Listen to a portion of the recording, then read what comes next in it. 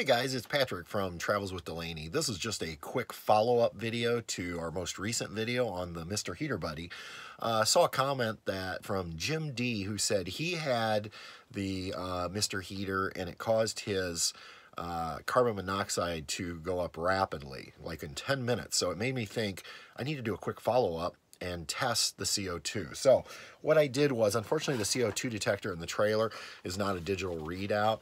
Um, so I have one of these uh, that you can pick up for, oh, probably under $50. And I'll actually get an Amazon link down in the description for this particular one, but uh, it will actually tell you exactly what it's reading. So I'm gonna go ahead and I'm gonna lay that on the table. Um, this time the test is not so much about the heat as it is about what's going to happen with the carbon monoxide. But I did open a window. I cannot open the vent because we've had too much snow and ice here in Indiana. But I do have the window cracked because, again, I would not run this at night when we're sleeping. And I would not run it without the trailer being vented. I, the whole idea of this heater for us is um, just to bring the temperature of the trailer up quickly and then allow the Alde system to take over. So I'm going to probably check this every, I don't know, maybe 15 minutes for up to an hour, and I'll get you those readings. So stay tuned. I'm going to go ahead and fire up the Mr. Buddy, and we'll come back in just a little bit through the miracle of video editing, and we'll see our results.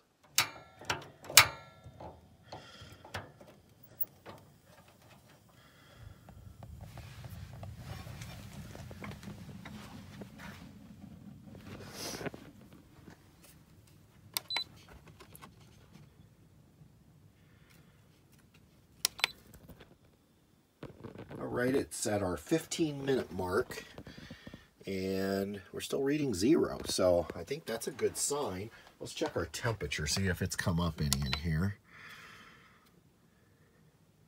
33 degrees. So we have come up. Let's check it in another 15 minutes. We're now at the 30 minute mark. Still reading zero. I guess that's a good thing. Hopefully it's working okay. And maybe just by having this window cracked. And we're up to 38 degrees after 30 minutes. So, and that's with this window cracked. I'm going to show you which window here, just so you have a reference point. It's this window here, and you can see, I can get my hand in, that's how much it's cracked right there. Hopefully you can see.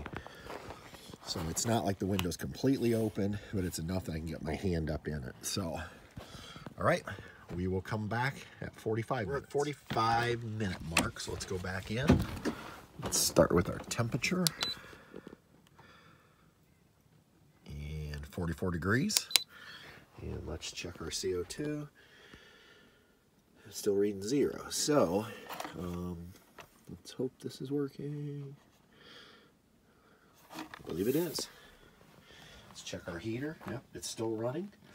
And this CO2 detector is also, notice this one, the one that comes installed in the trailer, does not have any digital display. So, um, but it's not going off either, and I actually have the heater, heater intentionally setting there. So, all right, we're gonna let it go 15 more minutes and get us to the hour. Here we go, the final hour. We've done, it, or actually it's been one full hour. 46 degrees, so pretty good. One hour, low setting with the window open, and we're still reading zero. So I feel comfortable with the window open based upon this test. Um, again, I wouldn't sleep with it on, but I think uh, based upon this, seems pretty good. All right, there you have it. Uh, makes me feel a little bit better running that test.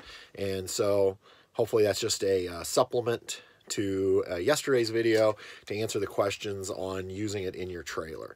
Uh, as I said yesterday, we still have some small channels that are subscribed to our channel that I'm trying to help out. I want to mention three more real quickly please go visit their channels and subscribe.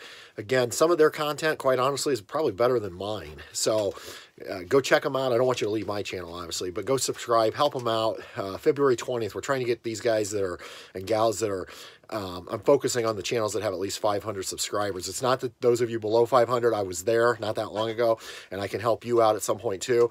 But I feel like if they have at least 500, um, maybe we have a chance to get them to a 1,000 before February 20th so they can keep their monetization going. So first channel to check out is RV Habit. These are some top-notch videos for you RV enthusiasts. There's um, all kinds of RV information, um, RV products videos, um, maintenance, RV maintenance, how to winterize, and again, very well done videos. So go check out RV Habit. Uh, second one is Progressive Prepper, and if you go over there, you, are going to find all kinds of things. Uh, one of the things that I'm going to go watch is some of his portable solar power videos because that's important to me.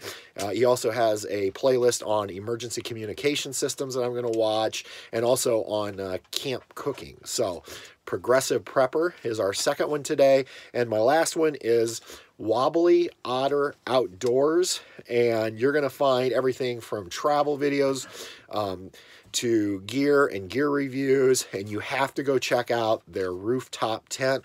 I have been wanting one of those for over a year. I'm probably not going to get one because we just bought the tab.